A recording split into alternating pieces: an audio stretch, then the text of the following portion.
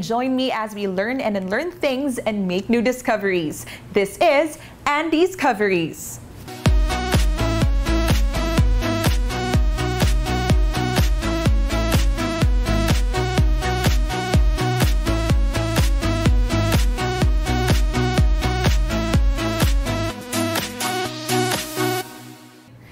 Episode is a discovery of the story of two gentlemen, a political tandem eyeing the top two positions in the province of Cebu. Will they be strong enough to defeat the duo from the ruling party composed of two equally strong women? Let's find out.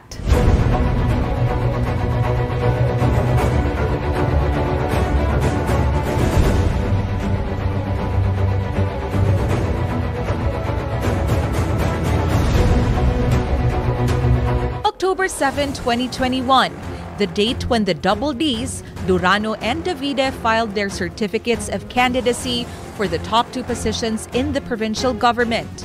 Both are scions of well-known surnames with territorial strongholds, the Duranos of Danao and the Davides of Argao. Challenging the incumbent Iron Lady of Cebu for the position of governor is 51-year-old Joseph Felix Marie Ace Hotchkiss Durano. He finished his Bachelor of Arts in Asia at the University of Redlands, California. When he came back to the Philippines, he took up law studies at the Ateneo de Manila University and graduated in 1997. He became a lawyer in 1998. He also finished his master's in business administration in 2012 from the Ateneo Graduate School of Business in Makati. He is an honorary member of Class 79 of the Philippine Military Academy and is also a Philippine Air Force reservist. He served as representative of the 5th District from 1998 to 2004 and from 2013 to 2016. During his term in Congress, he was the Assistant Majority Floor Leader, Vice Chairman of the Committee on Trade and Industry, Chairman of the Committee on Public Order and Security, and Vice Chairman of the Committees on Public Works and Highways and on Dangerous Drugs. In October 2004, he was appointed as DOT Secretary by then President Gloria Macapagal Arroyo, serving as Tourism Chief until 2010. Vice gubernatorial aspirant Hilario Junjun Perez Davide III, now at 58 years old, is the son of the 20th Chief Justice of the Supreme Court of the Philippines, Hilario Davide Jr. He obtained his Bachelor of Arts degree in Political Science from the University of the Philippines, Diliman, and his Bachelor of Laws degree from the University of San Carlos College of Law. He co founded two law offices and held key positions in the Integrated Bar of the Philippines Cebu chapter. His government service started when he joined the Office of the Ombudsman Visayas from 1991 to 1997. He formally entered the political scene when he was elected as councilor of Cebu City North District from 2004 to 2009, where he chaired the Committee on Agriculture and Rural Development and was vice chairman of the Committee on Urban Planning and Development. He was elected as governor of Cebu on his third attempt for the position and served two terms from 2013 to 2019. And he is now the incumbent vice governor under Gwendolyn Garcia's term. Today, we are joined by two gentlemen who are applying for the top two positions in the province of Cebu. We'd like to welcome here on the studio former Tourism Secretary Ace Durano and incumbent Vice Governor Junjun David. How are the both of you? Oh, very good. Nalingaw ko sa inyong twinning na t-shirt. This is our OOTD. OOTD outfit of the day. Yes. So, DD. DD Double tandem. D. Double D. Nag-hit ko tamang kita ni inyong double D nga tandem. Can you just quickly walk us through the story behind this tandem that was created for the May 2022 elections? Like, giunsa man ninyo pag-decide nga kamo ang mag-running mate para sa umaabot nga pinili ay? Okay. Ah, short version ng Short siguro. version lang, sir. Okay. Ah, mga early last year, naagi daghan nga mga sectoral groups ni duol nako. Mm. Giawhag ko pagpalansar. Kaya niwong ko nga ngano man, Mm. no nga wa ko'y interest, dili na ko ambisyon. No, ang ila lang, they invited me nga, why won't you go around the province? And I did. I ning tuyok ko for about uh, two months. Pero akong gipang duol mga sectoral groups. Uh, farmers, fisher folks, uh, women's, uh, LGBTQ, our, ang kabatanunan, seniors, uh, religious sector, all sectors, uh, south, north, east, and west. So I, I went all over. Unya, ang akog yung nadungog nila nga for the past two years, daghan yun kuno nga mga programa nga ilang natilawan sa time ni Vice Gov Junjun when he was governor nga nawa yun as in wa na sila matagad Like what, sir? uh, uh, support for farmers, support for fisher folks, uh, for the youth. Ang Provincial Youth Commission was stopped, which was uh, very active during the time of Vice Gov. Uh, the Paglaom scholarships was was also stopped. Uh, usag yun nga common sa tanan ang provincial ug district hospitals gyud. The state of the provincial and district hospitals. And this was even before the surge atong August. Kay ning ning tuyo ko mga kwan to June, July. Yeah. Ah, okay. So mo gyud ilang kwan ba nga dako kuno kaayo sa difference sa serbisyo sa Kapitol ah, karon ug sa katong panahon ni Vice Gov John John. So after that two months ang nasud sa akong un nga I should convince Vice Gov Jun Jun to run again for governor. For governor nga For position. governor. Okay. So Kay- what happened man, sir? Nga nung ikaw man ang nag-governor and si Okay. Vice Gov ang magpa-Vice Gov usab, even if he already had the experience for two terms. Right. Well, diha to nako nga sa pila na mo ka times. Well, we've known each other for quite some time. But it was only around this time nga naka heart heart heart to heart din mi og storya ay. So diha to nga I discovered nga pareha deming duha Nga unsa man? membro sa baha. Sir, baha. ba- baha na hadlok sa sawa. okay. Uh, well, sige ko og convince ni Vice Gov nga mubalik kay daghang gimingaw niya. he told me nga he he promised Jubel already. The, wa- his wife nga this is his last term. Di na siya mulansar.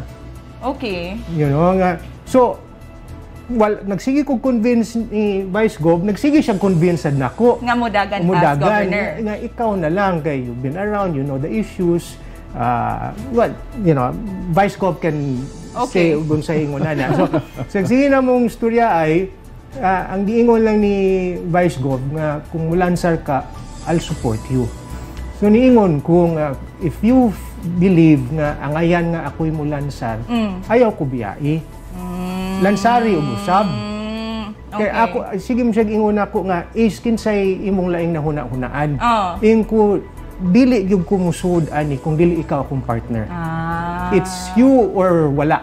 Okay. Either mo lansar tang kitang duha or di tamang lansar. Ah, so Kay- it's you and me against the world, Julia. Mga baha lagi. I'm curious, what did your wives had have to say when you when you told them about this this tandem?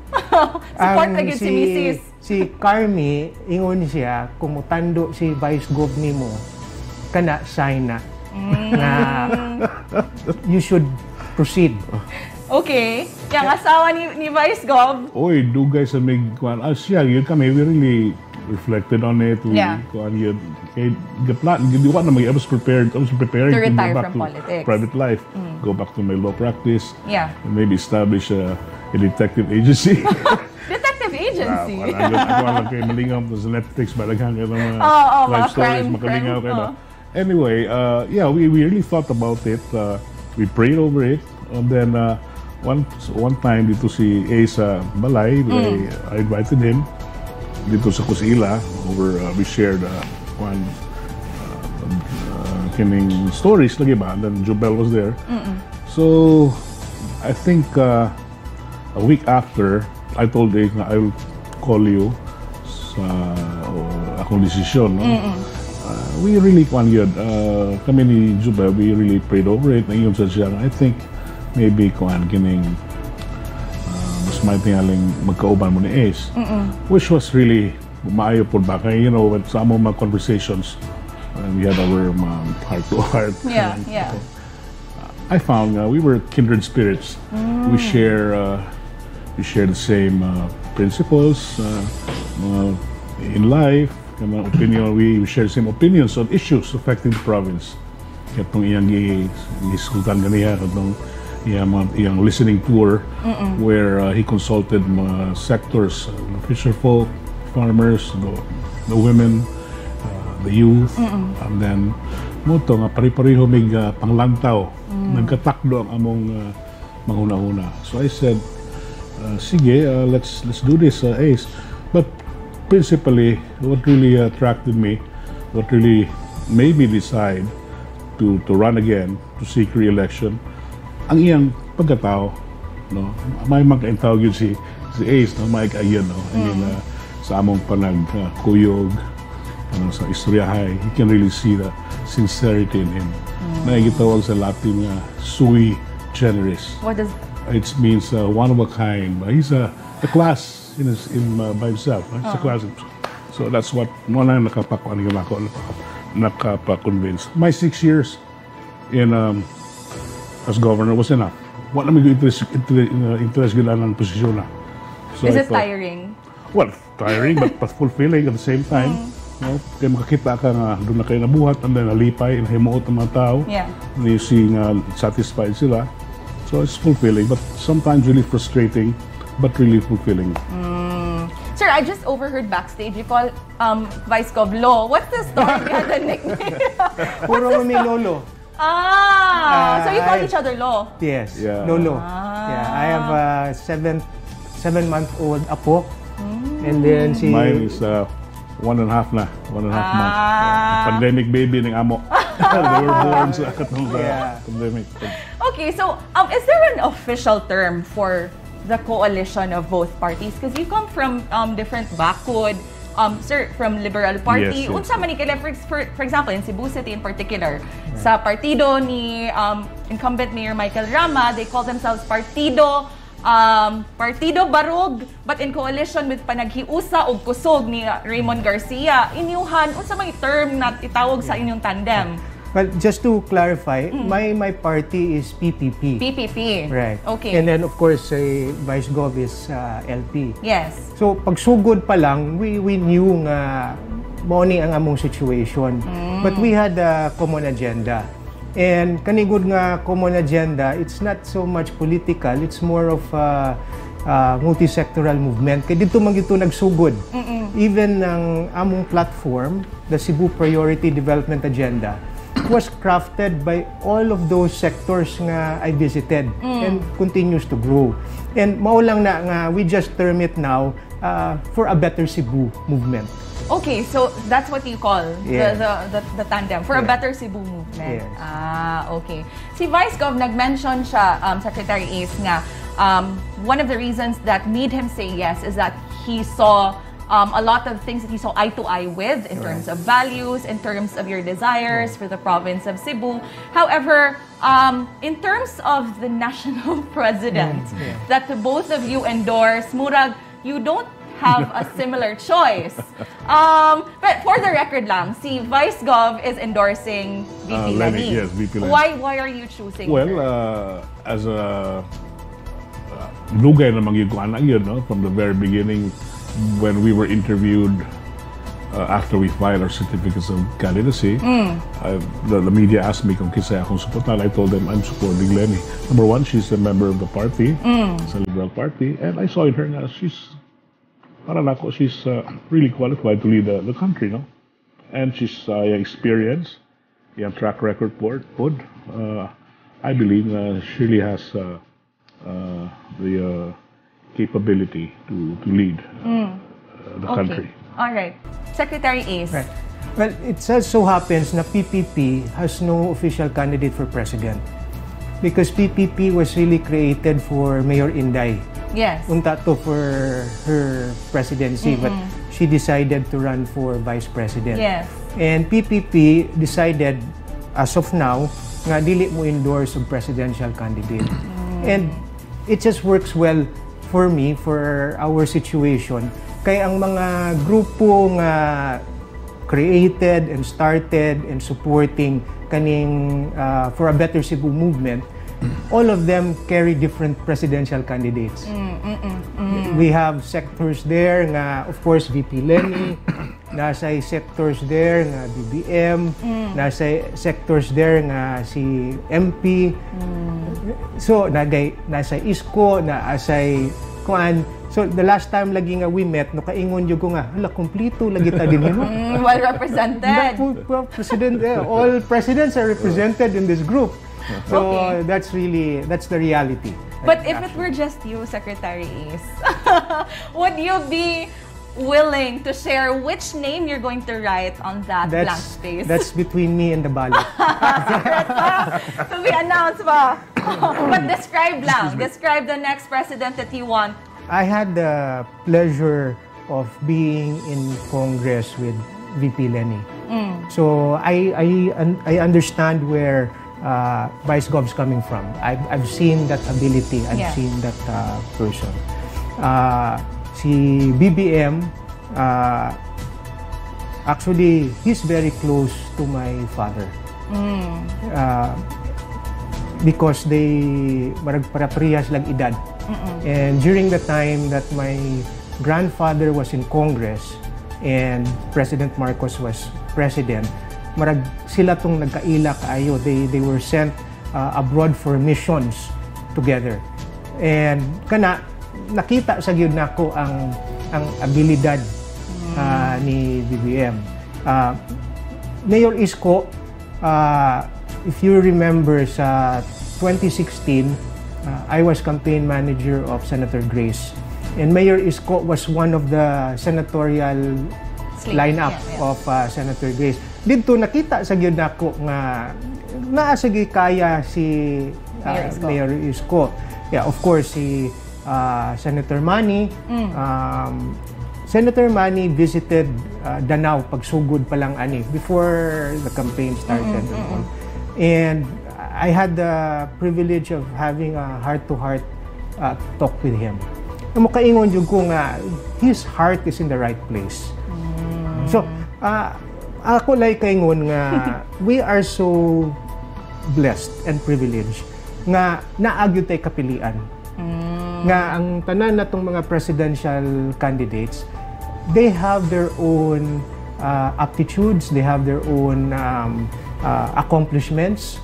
Nga whoever gets elected, I would think we can be proud nga we've chosen a capable uh, person. Pero mo lang lagi na ang, ang akong nakaganahan jud ani um, somebody who's also a student of our political history looking back. Nakaingon jud ko nga our democracy, you know, it's not perfect but it's very dynamic. You know, it's very dynamic. I mean, if yeah, look at kami ni Yeah. Vice Gov, uh, our our our tandem. Yeah. Uh, although nga sa national ang among grupo lain-lain ng presidente, Yeah. but we have a common agenda for for the province, province. You know, and makita sa nako nga the fact na we have all these people running for president and we see all their support groups. I think we should be happy nga that's where we are today as far as uh, politics is concerned. All right. Thank you so much, Vice Thank. Gov and Thank Secretary. Is. When we return, atong ila-ilahon og tagsa-tagsa ang mga plataporma o mga plano at ani atong mga aspirants alang sa umaabot nga piniliay this May 2022. Up next, we'll have our one- one-on-one interview with Secretary Ace Durano.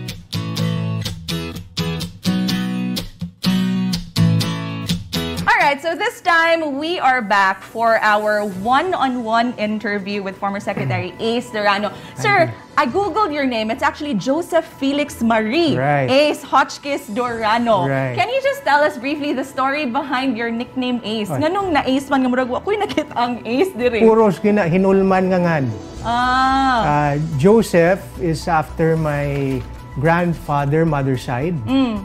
Uh, ang Hotchkiss, ang Joseph. Ang Felix Marie was the younger brother of my father who died at a very young age. Mm. So, puro hinulman na ako nga niya. Ang kanang ace, Yeah, kanang Ace. Ah mo na nickname gihatag sa akong ma'am kay ingon siya nga mabdo siya nako magsige siya blackjack magsigam kun siya daog Ah, Moto nga- so swerte day ka, sir. siya may swerte Pero naswertehan siya Ah. nimo.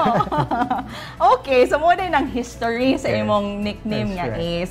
I just like to ask, sir, um, during the years nga you you weren't in public office, what Mm-hmm. have you been busy with? Ah, usa ah, I was ah, connected and mo akong marag ah, advocacy passion ever since Ah, there is this community college in Danao supervised by De La Salle University. Yeah. So diha gyud kong ah, na busy ah, since after ah, kaning siguro after DOT.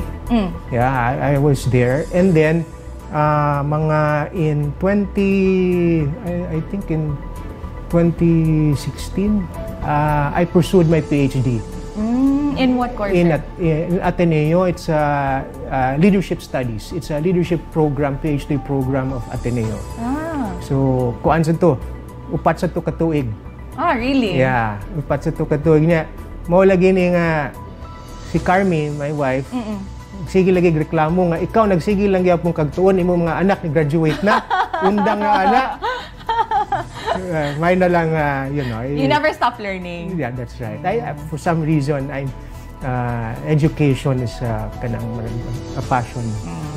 Yeah. Now, sir, jumping into this political scene, um, it's undeniable that incumbent Governor Gwendolyn Garcia is a popular figure, especially in Cebu. I mean, especially online. Yeah. Some people love her, some people hate her, but they say that bad or good publicity is still publicity. Sure. Are you not intimidated, sir, by her popularity? I don't think uh, intimidated is the right I would describe Or it. threatened by her popularity? it's more of it's a challenge.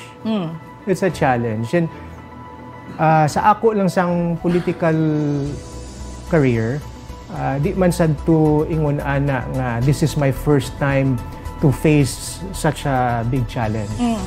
Uh, kay when I entered um, politics when I ran for Congress in 1998 uh, I was I just um, passed the bar and then among the Duranos at that time, Yes.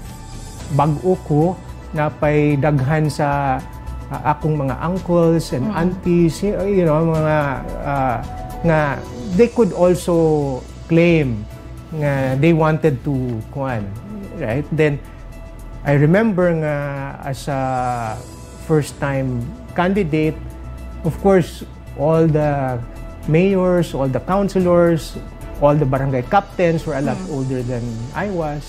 So, so it was a challenge, but I was able to surmount it and uh, I can say nga daghan sa kong nahimo as a congressman. Mao sa gyapon to when I was appointed DOT secretary. Uh, I was uh, appointed at the age of uh, 34 years old. I was the youngest in the cabinet at that time. And somebody who's not from the industry. So I was not welcomed as well. Uh, in fact, I remember gyud nga diha gyud toy pustaanay nga di ko moabot og usa ka tuig Really? sa DOT. But uh, again, pr- proud to say nga daghan sa tang nahimo as a DOT secretary and in fact post-ed sa uh, Philippine government uh, I served the longest as DOT secretary. I served there for close to six years good. I, I finished my my uh, term. So, uh, dili ni bag-o nako nga sa politika nga dako nga hagit nga you know the challenge. And ang ako lang uh, one thing that really encouraged me is one Vice Gov Junjun is my running mate. Uh, his confidence in me uh, yun na nga para nako uh, really inspired me. Nya ikaduha ang growing almost 250 sectoral organizations from all over the province nga supporting aning atong uh, agenda. Ang usasad nga nung uh, ah, gidawat ni nako nga hagit kay di man gud ni personal lang nga akong gi, gi pakita nga butari ko ninyo. Ah, in fact, I'm just championing the Cebu Priority Development Agenda. That's what I'm championing. Ah, and as a as a champion, I am just representing all the sectors nga naghimo ng agenda ah, and supporting the agenda. So, para nako, I'm not alone. Mo nang mo nang ah, wa ko mahadlok, wa ko Yeah. ma-intimidated.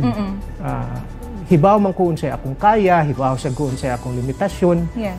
Ang ako lang ah, ah, nihatag lang ko og alternatibo. And at the end of the day, ug unsay desisyon sa kadaghanan, dawato na nako. Okay.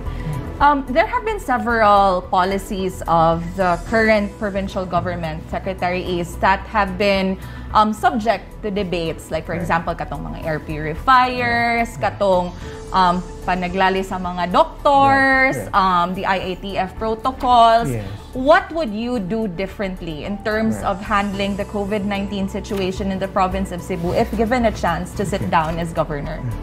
Ah, siguro kinai kinaiya lang yun ni nako. Ah, we all know nga in government naagi crisis. You know, mag magbalhin balhin lang na ang crisis. It can be health, it can be a um, natural disaster, pero naagi naagi tay atubangon nga crisis. So kung ako to ang nabutang dito based sa akong experience, Yes. the first thing I would have done was really prepared. And the first thing I would have done was really prepare our provincial and district hospitals. Kay makahibaw man gyud ta nga ang epekto sa COVID na ay surge. Pero di man sa pag-unsa pero ang gibuhat sa administrasyon karon nanangtang manuog mga doctors gikuhaan man noon og budget ang atong mga provincial ug district hospitals. Mao to nga pag-surge atong August Yes. wa gi gamit way doctors, way ekwipo, way tambal. Mo tong ning gawas na naana sa gawas ng higda ang mga pasyente. Ang mga pasyente maupay kinahanglan mo palit og mga gamiton para ma-attend sila sa hospital. So ah, para nako ah, preparation is key. Para atong audit. It was the same Yeah. makita nato nga lack of preparation yun. Kay ah, sa time ni Vice Gov Junjun, ang provincial DR, DRRM ah, was very active. Nga at that time, it was standard ah, protocol nga kung naay muabot nga typhoon, ang relief operations ah, days before andam na. So ikahuman na adayon. Na in fact, atong panahon na kung ang forecast ari sa norte mo igo ang ang muandam di sa south. Aron mas makasud dayon sila. Kung mausad kung ang forecast ari sa south, ari sa norte ang preparation. So atong makita karon nga mao gyud atong makita nga wa gyud ka preparar kay niabot og pila ka semana maupang nga naka oh, naka send og kuan. But given the the current circumstances Correct. now, um, Secretary Ace, kay last year, grabe pa man to, there was the Delta surge. And then, Sure. of course, we have the Omicron now, but they Yeah. say, na, some experts say that this is leading to an endemic Sure. already. Yeah. What should we prepare for if, if preparation is key under your leadership? Yeah. Okay. Uh, we see nga with this uh, trend nga declaration of uh, COVID as endemic, uh, most likely uh, slowly the economy, society will go back to its normal activities. Yes. And for Cebu, that means there will be an influx of foreign tourists. But it doesn't mean nga wa na COVID. It doesn't also mean nga way lain nga mutation nga mahitabo Yes. nga mas deadly pa sa Omicron. Yes. So ang preparation ana is andamon gyud gyapon nato ang atong provincial healthcare system to make sure nga every Cebuano is protected. Kay hibaw man gyud nga naalang gyud yapoy mahitabo. Mm. Pat para namo ni Vice Gov, COVID or no COVID, ang kaning serbisyo sa panglawas ang pinaka-basic gyud nga serbisyo. Yo, sa among tuyok-tuyok ni Vice Gov makita man gyud nimo nga ah, lisod na ang pangita karon, lisod na ang panginabuyan karon. Mulisod pag yun ang kahimtang sa usa ka mem- ka pamilya kung naay masakit. Kay kung naay masakit, mahal man yun. Mahal magpatambal, mahal magpa-doktor, mag- mahal mahal yun. Yeah. Ah, daghan kay kung madunggan nga maayo sila pagkabutang pero tungod kay na, naay nasakit sa ilang pamilya napurdoy gyud kay nahurot lang ang ang ilang tinaguan, ang ilang savings para namong Vice Gov Junjun di unta na kinanglan mahitabo. Kay para namo ni Vice Gov ang serbisyo sa panglawas sa probinsya kinahanglan masaligan, kumplito ug pinakaimportante libre. So mag-hire tag dugang nga doctors ug healthcare staff. That's right. Pareha sa gibuhat nila ni Vice Gov sa iyang panahon. Nga ang atong provincial hospitals ni abot nga ingon na nga level nga nag pwede na mag mag knee surgery Mm. at that time. Karon lang gani magsesaryan di na pwede mahimo. Kay ingon ana gyud na, na napabiyaan gyud ang Mga public ang atong kuan karon. In terms of tourism, Secretary Ace, kay imo magining forte because you were former Secretary of the Department of Tourism. How do you plan to open the economy and the tourism sector in the province of Cebu without sacrificing the public health of the Cebuanos? And at the same time, my question is, are you going to continue the Suray Suray Sugbo, which is already known namang good, popular namang good ni siya, nationwide. Yeah. So are you still going to continue that program of the incumbent administration? As far as uh, kaning uh, preparation for the influx of foreign tourists, uh, what I see is there is really a big pent-up demand. Daghan gyud sa atong mga key markets nga makadungog mag we still have uh, contact sa katong mga tour operators sa atong top markets like Korea, Japan, uh, and then um, sa US, sa UK, Germany, France, mao mga top markets nato. Uh, they are just marag kaning ready na gyud kayo mo balik. Ang ila lang yung gipangutana nga safe na ba mo diha? As far as uh, COVID infection is Concerned. concerned. Yeah. So, it still goes back to preparation.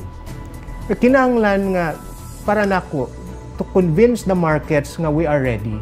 uh, first thing we need to do is we really need to increase the vaccination rate in the province. Kay sa last data akong nakita, we are just a little over 30% ang fully vaccinated sa outside Metro Cebu ang sa province. Yes. Uh, so for me, aron nga safe ang kadaghanan, we need really uh, grassroots, community-based nga information drive. Nga makumbinsi ang kadaghanan nga nahadlok gyapon. How do you plan to do that, sir? Ang ako lang yung nakita, di pwede social media. It really has to be Sa barangay, John. medical medical nga nang naay medical background. Uh, we can train our BHWs to do that. Nga musujod sa mga balay-balay. But that's right. Nga adto gyud sa grassroots sa community, niya masturyaan gyud Mm. ug unsay ilang panghuna-huna bahin sa COVID. Mm. Aron mahatagan og sakto nga information. Kay mao ra mo gikuwang. Mm. Muadto lagi ka mutuyo ka tinudan na gyud na gyud kay ma, ka- madunggan nga mahadlok sila nga mahimong zombie. Napaghapon na Na karon. naagyod, Agad naagyod. karon. Naagyod. So Oo. makita nimo nga ang information, ang saktong information, wa gyud mo abot nila. So muna, the only way gyud akong makita, ka especially nga percent pagyapon sa population way access to the internet.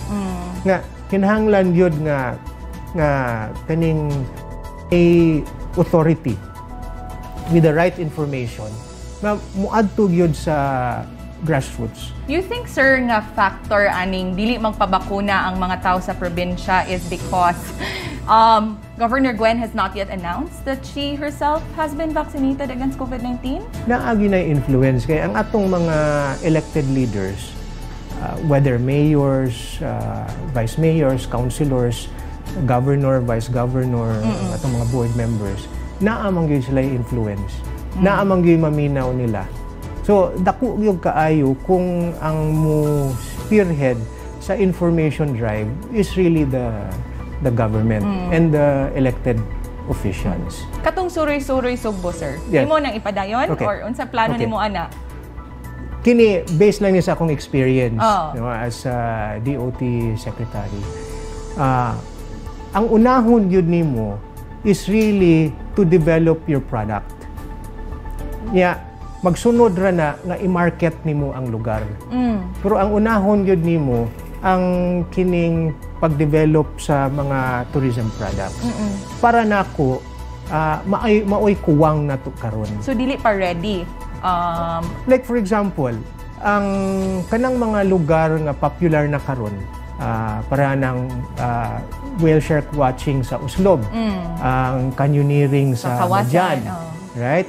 Ah, ang atong scuba diving sa Malapascua, yes. ang atong mga beaches, puro naman ni ila. Oh. Uh, in fact, uh, mauna ning gipang market sa atong mga tour operator sa ilang mga packages. So di na ni kinahanglan nato i-market. Mm. Ya, kung mugasto ta pag-market ana, marag baliwa usik na lang ang kwarta ba. Okay. Kay nailhan naman na Yeah. gi- gi-market na sa gyud na sa kaning private sector. Ang role gyud sa government, like what we did sa DOT, ang kanang wala pag-promote Mm. Kanang wa pa nga mahimo nga produkto mo na atong gastuan. Mm. Mo na atong gastuan to make new products and kung naa na nga produkto atong i-promote. Hantod nga pick upon sa private sector Para sila na balik na sad ta sa sugod. Himo na sa taglaing produkto, promote na sad ta, hantod nga pick upon sa private sector. Could you cite specific examples, sir? Like, kanang imong gipang-ay nga kunang kuwang pa kayo sa development, like here in Cebu in Yes. particular. Ah, didto mi ni Vice Gov sa Mantalungon, Dalaget. Mm. And didto didto ko may nakahibaw nga Mantalungon has a kaning has a wide cave system. Sa among sa panahon namo sa DOT, kung muingon kag Samar, ang abot sa huna-huna sa tagagawas, ah, bagyo. Mm. Yeah. Kay kada report gyud nga naay typhoon gyud, is oh. off Samar ingon yes, na na. yes. Oh. Pero among nakita nga Samar has an amazing cave system. Mm. So, nasa tana sa Dalaget. Naasad sa Dalaget, wa lang ma-develop. Karon if you Google Samar, amo gawas the spelunking capital of the Philippines. Ah, okay. Right? So, mo ni akong pasabot, naapay daghang mga produkto. Hidden gems. That's right. nga hibaw ta nga popular sa mga foreign tourists. Okay. nga wa pa nato ma-develop. Ang kanindot sa mga ingon ana kay karon sa Cebu ah, siguro 90% of our tourism naa sa coast. So we let's develop ah, tourism products nga will bring tourists to the interior Okay. to bring also uh, jobs and livelihoods through tourism to those areas. Nya kung mukusog sang tourism diha nga mga areas, that will also support our fisheries and agriculture. That goes uh, hand, in hand. Alright. Uh, we we saw that when we developed uh, whale shark watching in Sorsogon, uh, when we developed firefly watching in Puerto Princesa, Palawan. So naagi daghan pag yun kaayo nga mabuhat nato dinhi sa sa Cebu, Cebu. Okay. uh, as far as uh, tourism development is concerned. I have last two questions, Secretary Ace. Um, we don't have much time, so very briefly lang, sir. Um, kamo duhan ni Governor Gwen, and I'm also going to ask this, ask her this question. Um, if given the chance also to have her in the show. Um, both of you have history. Pardon me for asking, but history of katong graft cases. For Ah, example, in your okay. case, it was about the calendar sa Right, DOT. right, Just right. very briefly, how will we be able to assure the Cebuanos of a transparent government if given the chance to serve as governor, um, given this history of kanang mga controversies Alright. that you faced in the past? As far as transparency is concerned, uh, Vice Gov Junjun and I already agreed na on our first 100 days in office, uh, we will um, pass or execute uh, a Freedom of Information Ordinance to make sure that our administration is Yeah. transparent. Uh, let me explain also ang difference atong case nako og mga cases ni ni Governor Governor, Gwen. Gwen. Uh, kanang akong case that that doesn't involve money. It doesn't uh, there is no issue there nga kwarta nga nausik, kwarta nga gibulsa or project nga wa gi-deliver.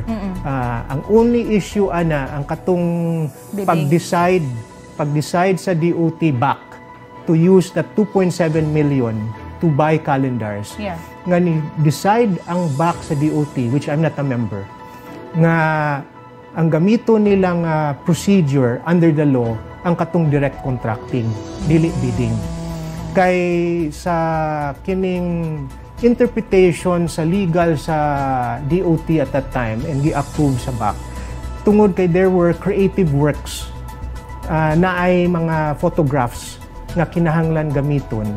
Niya ang photographs na ay tag-iya. Kay that's intellectual property man ang mga photographs. Mm, dito nakamahal. Ah, Bayad sa... actually kung tan-awon nimo ang ang picture sa to gikuha was uh, uh, over 100 pictures in uh, 22 destinations. Uh, ni gawas ato nga marag 12,000 per photograph. Kung tan-awon nimo ana, that's not mahal. Because you're actually uh, paying for the intellectual property. So, tungod kay intellectual property siya, ang back ni decide nga dili ni pwede na to i-competitive bidding. Kay wa may lain tag-iya ani usara man ka tag-iya aning mga photographs. So mao to nga ni decide ang kaning back sa DOT nga i-contract nila directly ang katong tag-iya sa mga Pictures. photographs. Okay, okay. Eh, pero ah, even the prosecutor admitted na fully delivered ang project. Ah, DOT admitted na it was fully utilized ug nakatabang yun sa atong promotional ah, activities. So nahigo nga wa gyud to mausik or wa gyud to gibulsa ang 2.7. So that's a very different Yeah. nga issue compared sa cases ni Governor Gwen. Alright, okay. But just for kung ano yun, nga not even thinking of this uh, case, uh, ang amo lang yun nga to differentiate our uh, type of governance Yes.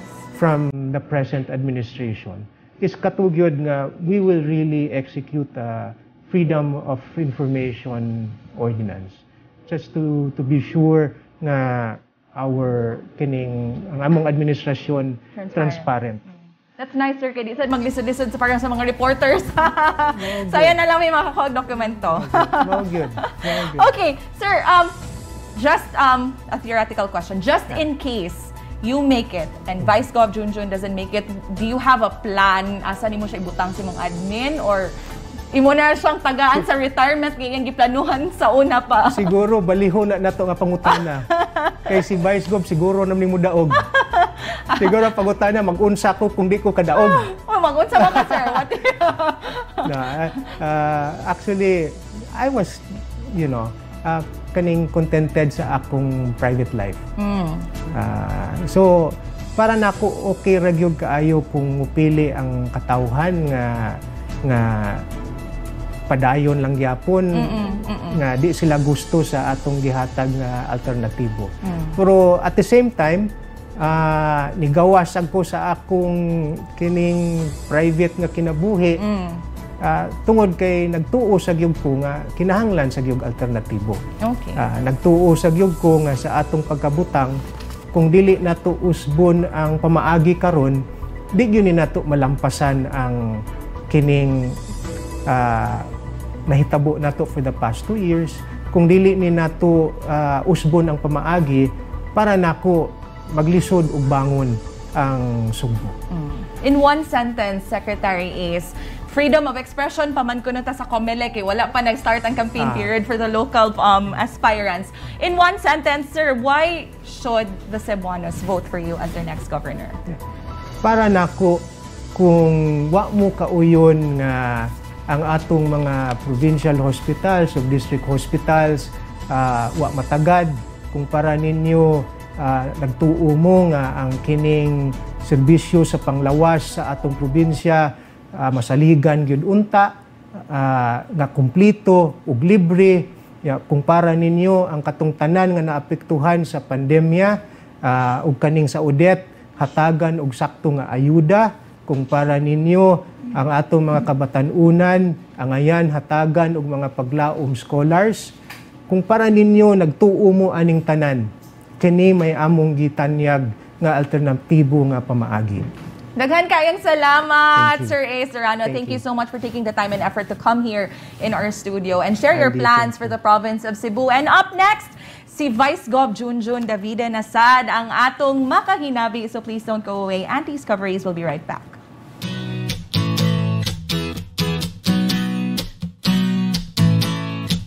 So now we are with incumbent Vice Governor Junjun Davide, who is running for another term for the same position. Hi again. Welcome Hi, hi, back. Vice Thank you, Gov. thank you. Ha? Thank you.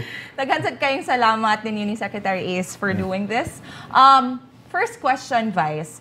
Ang scenario karon medyo similar during the last elections nga medyo dili kayo ilado ang imong kontra katong sa una. Although, mas ilhan si Ma'am Daphne sa Limbangon at the time, but kaning si Dr. Herosa, murag newbie gid siya sa political scene in the province of Cebu. Um, do you feel nga murag confident ka nga you Well, have the upper hand Kung uh, experience lang in uh, public service, uh, sa tenure, I, I, I think uh, doon ako edge, no? Pero we can never tell mang yun, uh, and, uh, and, and, you know, uh, I, I don't know uh, Dr. Hero, so I know the husband.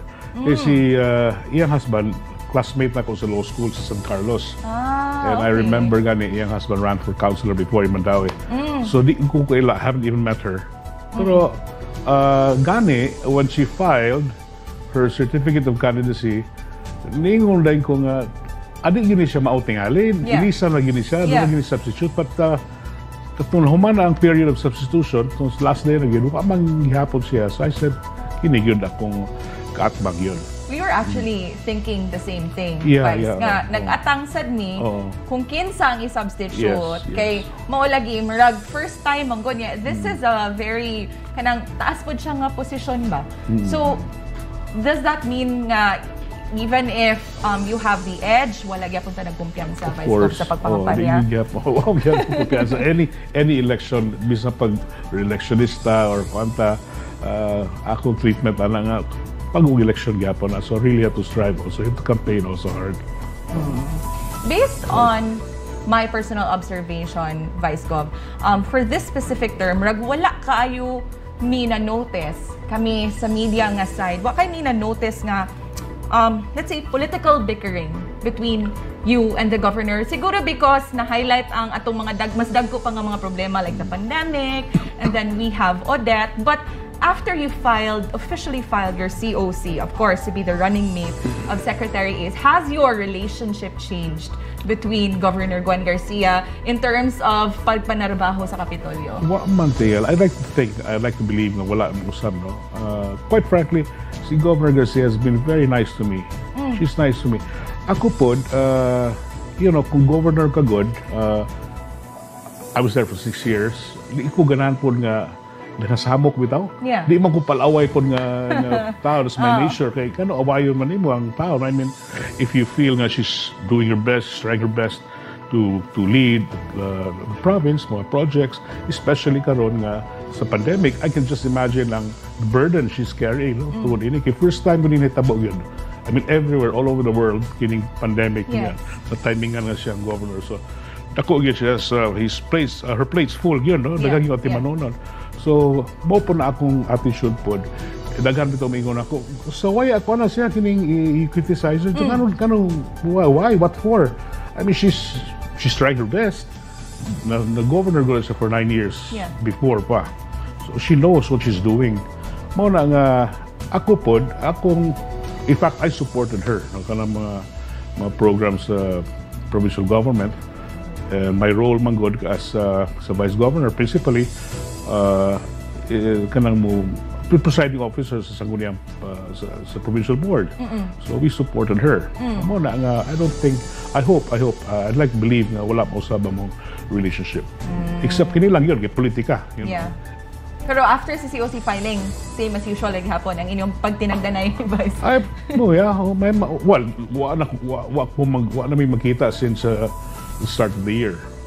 I wanted to pay a courtesy call on her sa first Monday of uh, January, except that nagpa-RT-PCR magumi ni Mrs. Davide and our, and our two daughters kay kay yeah, may suspecting na doon na ikuan. So, yeah. oo. So, wa ko attend sa flag ceremony. I didn't, I wasn't able to, to see her na.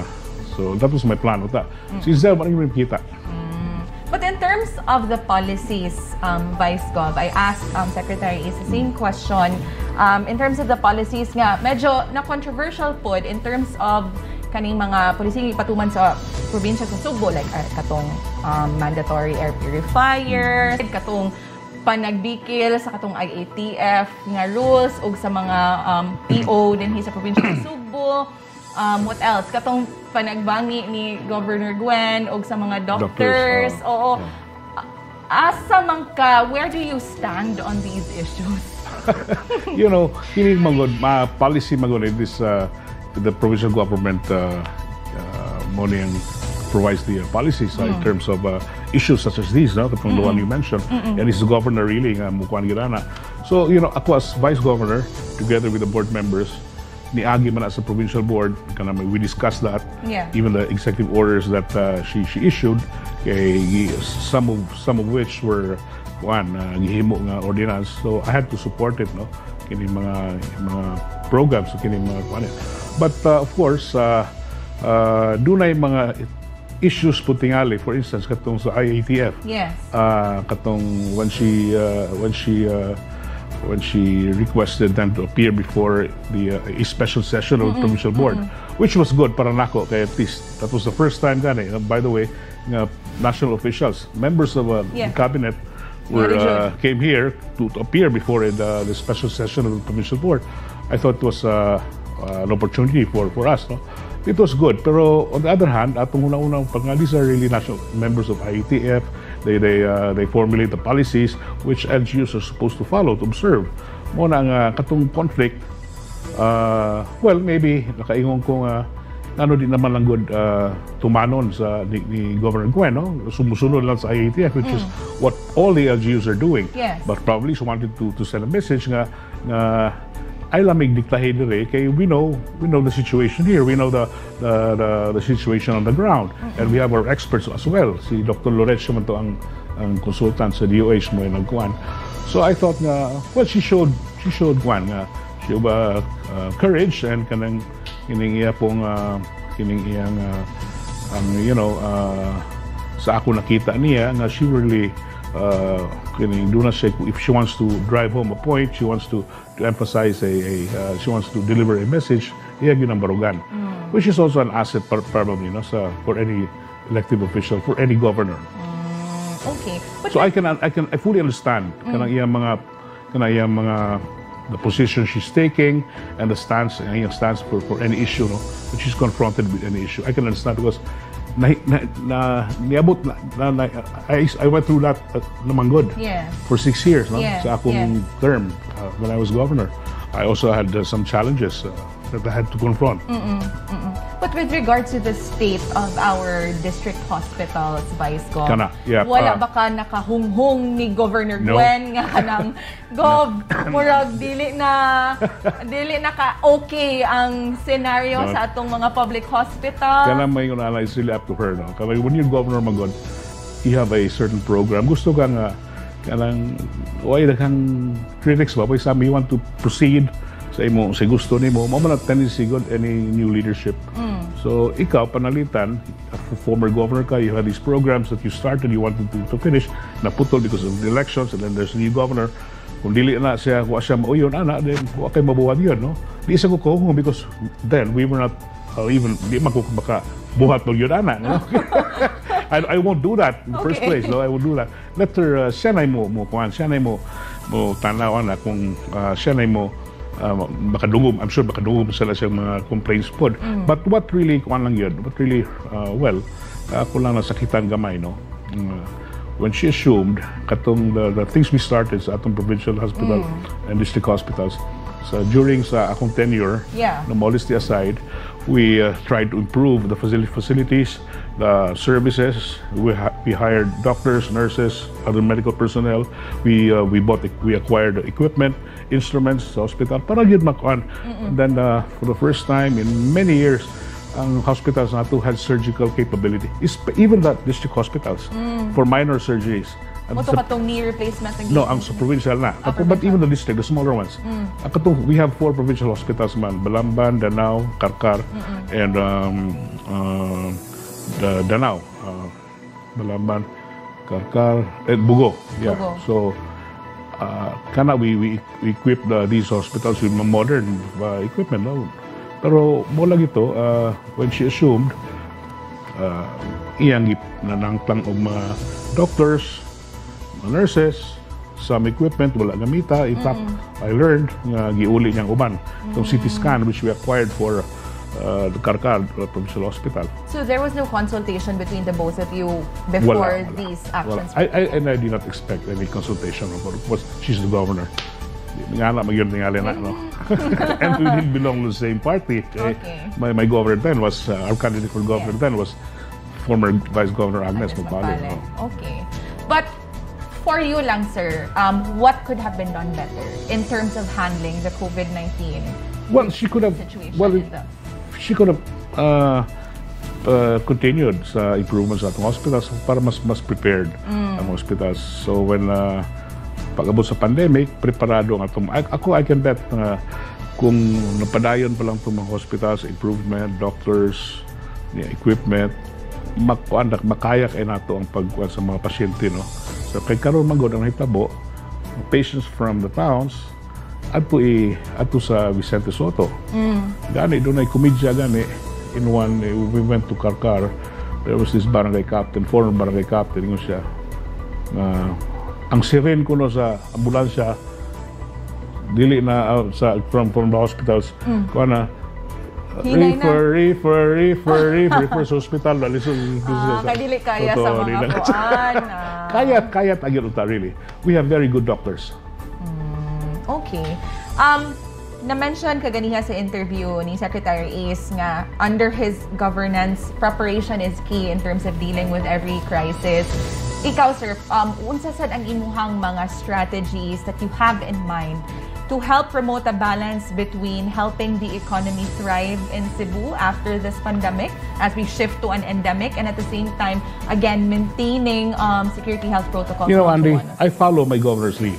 Kung unsay plano sa ni Ace for the province in terms of those katong imong mention, musunod lang ko because that's my role really to support the governor, my governor, sa programs. And kami, we will do our we'll do our job po sa provincial board because if he has policies, for instance, if he uh, uh, programs that he wishes to to implement, muagi man ang provincial board. And then we will discuss it and I will I can assure uh, uh, sa, sa atong mga kaigsunan nga amo ng tukion niya in support sa programa sa sa, sa governor. Sir, bago na mo nag-launch atong sports against COVID, kamo ni S- Secretary Ace, katong mga PBA legends, wo- can you also discuss kay murag nahutdan mig time kaganihan ni Secretary Ace the importance on Yes. uh, what, what are the well, sports platforms? is very important. During my tenure, we had a, uh, a nagpaliga tag basketball among Mm. the towns. Yun. Uh, so ni Shine yun to, there were so many players, young players na recruited by uh, Manila universities. huh? They sent agents here every time doon na tayo mga, pala, mga games like those. So, and I think, uh, I believe si uh, Ace uh, would also want to uh, revive that. That's why I wasn't at the uh, launch Mm. Yeah, sa yeah. katong mga coaches and the PBA uh, legends, but I'm sure uh, uh, puhon, uh, kaluyan sa Ginoo, mag-governor si Ace, yan ang ibalik ang programa. Importante pag yan ang sports yun, really. I mean, that's a no-brainer man tingali nga mm. mo magyuning para kuan yun. So many so many there's so many Cebuanos nga talented yun. Sa basketball especially.